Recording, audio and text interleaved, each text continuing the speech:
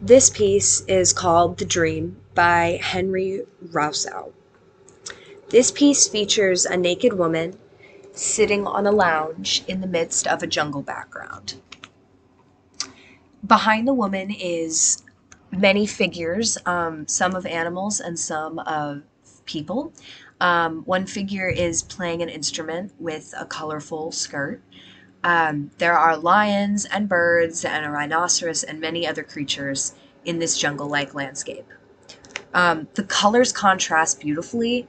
Um, the light skin tones on the woman against the dark, shadowy backgrounds are really exquisite and bring out um, the fact that she is the centerpiece of the painting.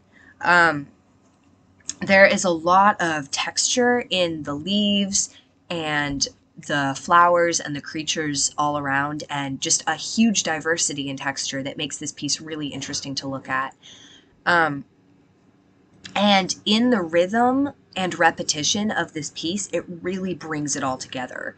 Um, there's a lot of green in this piece, but it's not boring to look at. It's not repetitive in um, a monotonous kind of way. It there are different shades of green, and they really make it interesting and make you feel like you're in the wild. Um, there's an irony in a woman in such a vulnerable position of nakedness in the middle of a dangerous jungle where there are predators um, on all sides. She doesn't look afraid though. She lays very relaxed on her side, just kind of gazing out at her surroundings in an interested kind of way, but there's no fear in her face that we can see.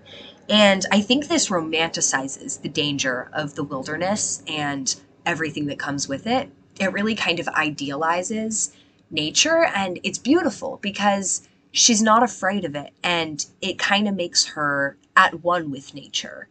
Um, the lions behind the lounge have big, big eyes, and one of them looks straight at us. And it's really interesting that uh, Rousseau um, chose to have the lion gazing at us because it makes you wonder is he coming for me or is he just curious? It makes you ask questions and it's intriguing um, and makes you want to look at the painting more.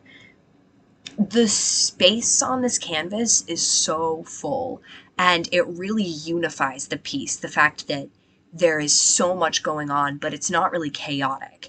It's just full in the way a forest is full or a jungle is full. Um, it really makes you feel like you're in the wild and in nature, and I love that. Um, the tones in this piece vary. There are really shadowy colors in the background, um, dark, dark greens and browns. And in the foreground, there's lighter greens and yellows.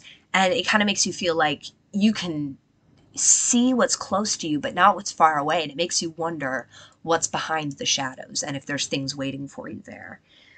Um, this piece is so intentional. You can tell that every brushstroke was just on purpose and that uh, the artist worked really hard to make this piece full and look like very um, deep and interesting to look at. And I think it's an exquisite piece and deserves so much respect.